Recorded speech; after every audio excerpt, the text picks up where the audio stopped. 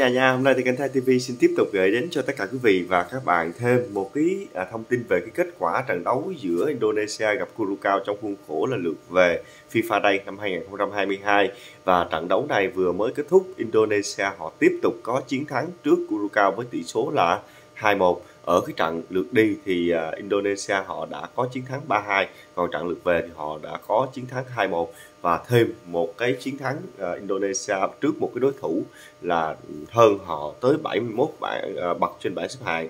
Hiện tại bây giờ thì Indonesia sau cái trận lượt đi thì họ đã từ 155 ừ, lên được hai bậc còn 153 nhưng mà hiện tại bây giờ thì Indonesia chắc chắn họ sẽ được cộng điểm rất là nhiều khoảng 7 phẩy mấy điểm nữa thì họ sẽ cải thiện được vị trí khoảng 153 lên. Chắc có lẽ là khoảng 151 đến 150 gì đó. Nhưng mà để chúng ta hãy cùng ờ, xem thử uh, cái kết quả của các cái trận đấu khác tại FIFA đây. Và ngày mai chúng ta sẽ biết được cái vị trí của uh, Indonesia. Và ngày mốt chúng ta sẽ biết được cái vị trí của tất cả các đội bóng khi mà kết thúc uh, FIFA đây cái dịp FIFA đây và các cái cầu thủ sẽ về với câu lạc bộ để mà đá cho các câu lạc bộ ở các cái giải đấu nha quý vị. Và bây giờ thì Thai TV cũng ờ, xin được gửi đến cho tất cả quý vị và các bạn cái thông tin về cái diễn biến trận đấu uh, giữa Indonesia và Curacao. Nói chung là họ sẽ có dịp uh, thêm một cái nữa là họ thêm có dịp thì họ uh, sẽ nổ tiếp nha quý vị. Và một bước lên mây nữa như quý vị. Nhưng mà quý vị và các bạn ơi Việt Nam của chúng ta đã trải qua hai trận đấu tại FIFA Day này. Chúng ta chúng ta đã thắng Singapore với tỷ số 4-0 chúng ta đã thắng được tuyển Ấn Độ uh, có thể nói là đánh giá là ngang tài ngang sức với chúng ta và yếu hơn chúng ta một chút xíu thôi và họ đã vô địch uh, khu vực uh, Nam Á như quý vị. Giống như như khu vực Đông Nam Á chúng ta đấy thì Thái Lan năm ngoái đã vô địch. Đó.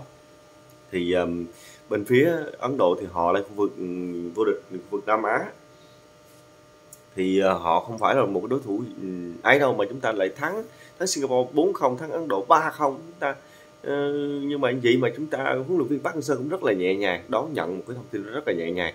Các cái cổ động viên thì đây là một cái giải giao hữu, cho nên họ cũng không có tới sân đông còn Indonesia thì trời ơi, một cái giải giao hữu mà họ làm như là một cái giải gì đó lớn lao như World Cup gì đó. Họ tới sân, họ làm, u, rồi cái chiến thắng rồi họ ăn mừng, giống như gan như là thể thức vô địch World Cup gì đó. Thì tôi tôi tôi nói thiệt, mai mốt gặp Việt Nam đi rồi lã cho vài trái rồi lúc đó rồi ăn mừng nó đi. Tôi nói thiệt, tới AFF Cup sắp tới đi, thì vào bán kết thì tôi cầu vô gặp Indo, vào chung kết thì tôi cầu vô gặp Thái Lan. Nhưng mà tôi thích trận chung kết trong mơ Thái Lan, Việt Nam thôi. Còn Indo họ không đủ đẳng với lại là Việt Nam với Thái Lan. Tôi khẳng định hiện tại bây giờ là như vậy. Đó, cái cách mà, cái cách mà mà mà các cầu thủ Indonesia họ đá rắn như cái trận này thì do là họ là đội chủ nhà, họ đá rắn với lại Curacao, nhưng mà những cái tình huống trọng tài cũng trả thổi. Thì nói chung là một cái giải giao hữu mà. Tới cái giải chính thức đi, rồi chúng ta thấy cái cảnh với lại là Việt Nam ha. Tôi tôi tôi nói như vậy đấy. còn quý vị và các bạn suy nghĩ như thế nào thì ờ, cứ hãy comment phía bên dưới cho nó vui. Thì tôi thì tôi tin chắc rằng Việt Nam của chúng ta đủ đẳng cấp để mà vượt qua được Indonesia tại AFF Cup à, vượt qua được Thái Lan và chúng ta lên ngôi vô địch. Và bây giờ thì Thai TV cũng xin được uh, gửi đến cho tất cả quý vị và các bạn cái diễn biến chính của cái trận đấu giữa uh, Indonesia và Curacao. Và tôi sau cái trận đấu này tôi có cảm giác như Curacao họ không có xứng đáng ở nằm ở vị trí thứ 84 thế giới đâu. Đó và sau hai cái trận thua Indonesia họ chắc chắn họ sẽ tụt ừ, họ tụt lại cái bảng xếp hạng. Có thể họ lên khoảng 87 88 khoảng 90 đó, đó gần gần như Việt Nam vậy đó. Nói nói chung là họ đá thì tôi thấy là thua các đội bóng Đông Nam Á. Họ chỉ gặp Malai thì chắc có lẽ là họ thắng được thôi chứ còn gặp mà Việt Nam chúng ta chắc lãi cho dài trái. Đá rời rạc và đá không có một cái tổ chức nào hết. Cầu thủ của họ thì tôi thấy là có chất lượng nhưng mà tôi nghĩ rằng là các cầu thủ ờ, Indonesia, ở uh, Curacao họ giống như gai như họ không có sự gắn kết với nhau. Họ chưa có có cái sự gắn kết với nhau trong cái lối đá. Và bây giờ Thái TV cũng xin được chia sẻ đến cho tất cả quý vị và các bạn cái diễn biến chính trận đấu. Ở phút thứ ba thì Indonesia đã có bàn thắng vươn lên dẫn trước. Từ cú sút xa à, không trúng cung thành của đồng đội thì Dimas Dra à, đã kịp thời có mặt trong vòng cấm để bóng đẹp mắt đánh à, bại đối ờ, thủ thành của Curacao. Mở tỷ số cho Indonesia. Tới phút thứ sáu thì à, các cầu thủ Curacao có cơ hội gỡ à, hòa trong vòng cấm nhưng bị hàng phòng ngự của Indonesia bắt bài. Tới phút thứ 13 thì Indonesia tận dụng triệt đổi cơ hội. Tới phút thứ 19 thì cầu thủ hai đội liên tục phạm lỗi với nhau. Tới phút thứ 25 thì ờ, Ezi uh, Maulana bị phạm lỗi trong tình huống tranh chấp mang về cho Indonesia quả đá phạt. Nhưng Ekan uh, à, Bagot đánh uh, đầu đi cho thủ thành. Tới phút thứ 29 thì Curacao có cơ hội nguy hiểm đầu tiên. Từ ngoài vòng cấm thì cầu thủ số 11 bên phía Curacao có cú sút trực tiếp đến khung thành của thủ môn Indonesia. Tuy nhiên uh, bóng đi trịch uh, cung thành. Tới phút thứ 39 thì Indonesia được hưởng một cái quả đá phạt cự ly rất là thoáng tới cung thành của thủ môn áo xanh. Tới uh, phút thứ Ờ, uh, 45 cộng 3 thì uh, hiệp 1 kết thúc. Và qua hiệp 2 thì uh, tới phút thứ 48 thì uh, ngay uh, đầu hiệp 2 Curacao đã có bàn thắng gỡ hòa ở phút thứ 47 à, sau thời cái tình huống phối hợp trung lộ đẹp mắt. Người ghi bàn là uh, Jeremy uh, Anthony uh, C. Và tới phút thứ 55 thì cú sút phạt khá có ý đồ của uh, Marcelino và uh, Ferdinand nhưng bóng đi hơi cao so với cung thành. Tới phút thứ 55 ở 64 thì thế trận dằn co cả hai ờ, eh, Curacao và Indonesia đều uh, sẵn sàng chơi đôi công để tìm kiếm bàn thắng vươn lên dẫn trước. Tới phút thứ 75 thì vẫn chưa có bàn thắng. Cơ hội liên tiếp đến với Curacao và Indonesia nhưng hai đội uh, uh, vẫn là tỷ số là một điều. Tới phút thứ 86 thì Indonesia đã có bàn thắng vươn lên dẫn với tỷ số là 2-1 uh, Danny uh, Sijawan là người ghi bàn cho Indonesia sau pha đi bóng lắc léo và đường truyền uh, à, như đặt của uh, Witan uh, Suleiman.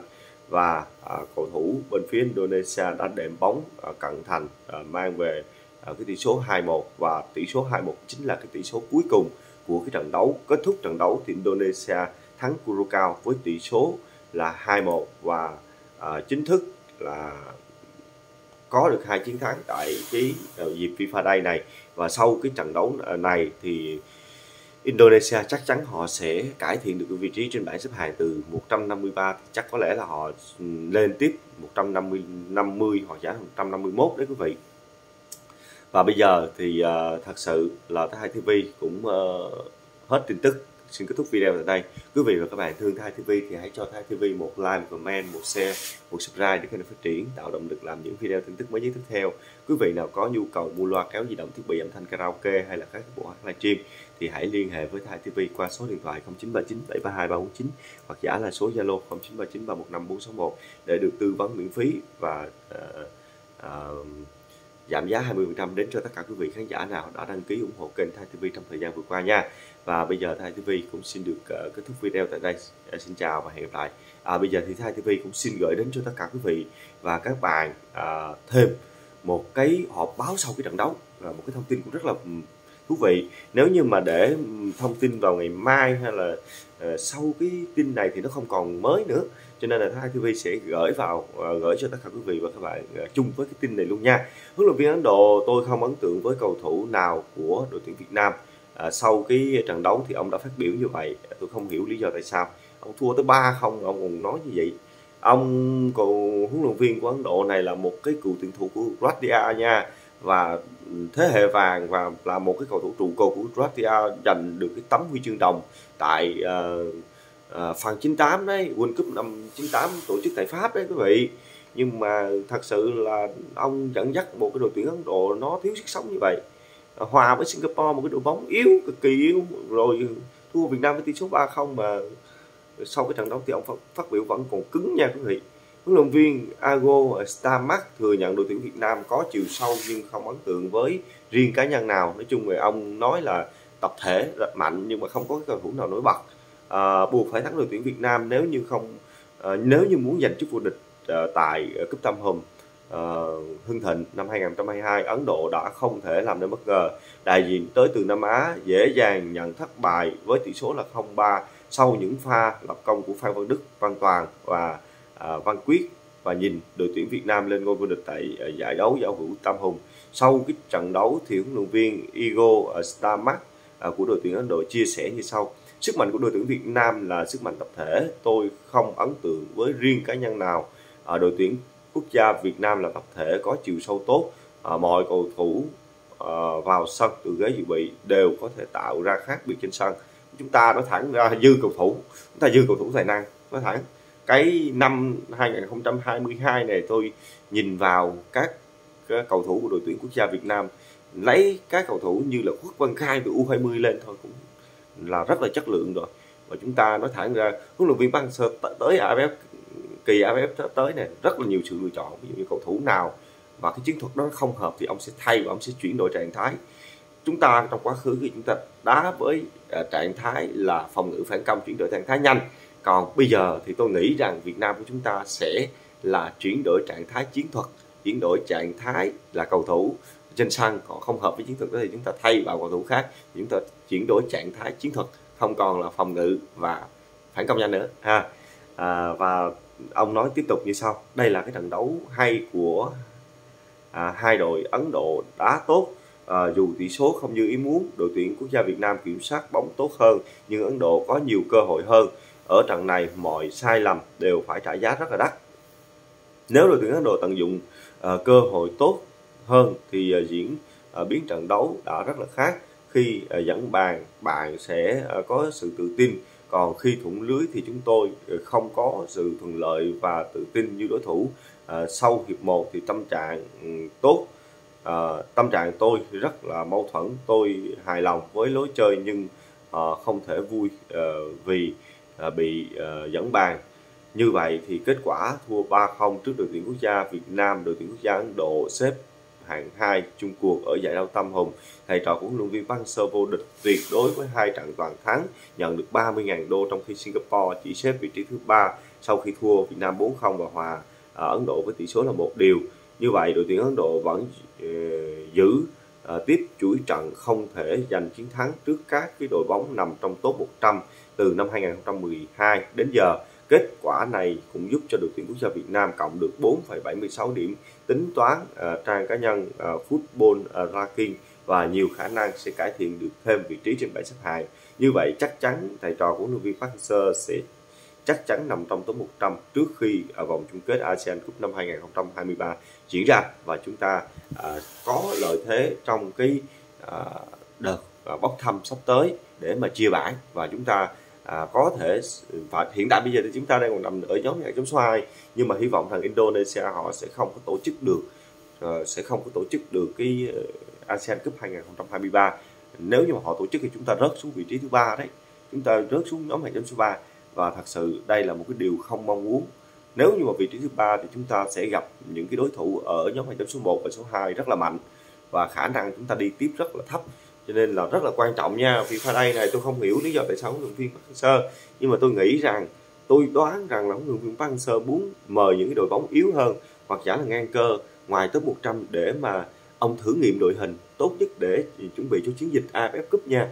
Ờ, nhưng mà theo tôi á, thì Việt Nam của chúng ta ờ, tới bây giờ những cái mùa giải sau mà nó quan trọng tới cái vòng chung kết ASEAN Cup 2023 thì uh, chúng ta nên mời những cái đội bóng mạnh hơn không phải là mạnh hơn mà xếp trên Việt Nam của chúng ta ở trên bảng xếp hạng. Ví dụ như mời Curacao chẳng hạn.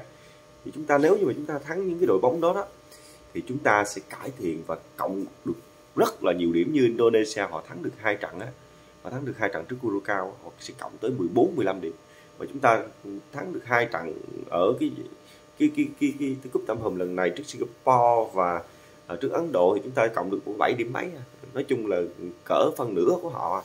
Đó, thì ờ, nên là như vậy. Nếu như mà chúng ta được cộng 12 điểm trong cái chuyến FIFA đây này này, thì chúng ta sẽ vào cái vị trí thứ 95 đấy 95 đó quý vị. Đó, và chúng ta sẽ có cái cơ hội rất là lớn cho dù Indonesia họ tổ chức thì chúng ta có cơ hội là chúng ta cũng không có rớt xuống nhóm hệ trong số 3 và điều đó là một cái điều rất là quan trọng khi mà ASEAN Cup năm 2023 uh, ờ, sắp diễn ra rồi. Và hy vọng rằng là Indonesia họ không tổ chức được nha họ tổ chức được thì chúng ta sẽ rớt xuống rồi họ sẽ lên vị trí số 1 đấy. Và chúng ta tại vì họ đội chủ nhà đội chủ nhà mà không lẽ họ không lẽ họ ừ, rớt xuống nhóm này giống số 4 số 3 không được. Thì chủ nhà thì phải ưu tiên số 1 còn lên thì chúng ta phải xuống thôi. Tại vì chúng ta giáp ở cái vị trí nhóm này giống số 3 chúng ta nhóm tuy rằng là nhóm một nhóm số 2 nhưng mà chúng ta ờ, giáp ở cái đó. Và nếu như mà có một đội chen lên như vậy thì chúng ta phải đẩy xuống vị trí thứ ba thôi. Mà thật sự là ừ, cũng rất là uh, hy vọng là Indonesia họ không có giành quyền được tổ chức tại vòng chung kết ASEAN Cup uh, giải vô địch bóng đá châu Á năm 2023 đó chính là những cái chia sẻ của Thái TV muốn gửi đến cho tất cả quý vị và các bạn ngày hôm nay. Và bây giờ thì Thái TV à, cũng xin kết thúc video tại đây. Xin hẹn gặp lại tất cả quý vị và các bạn một cái video gần nhất nha. Xin chào.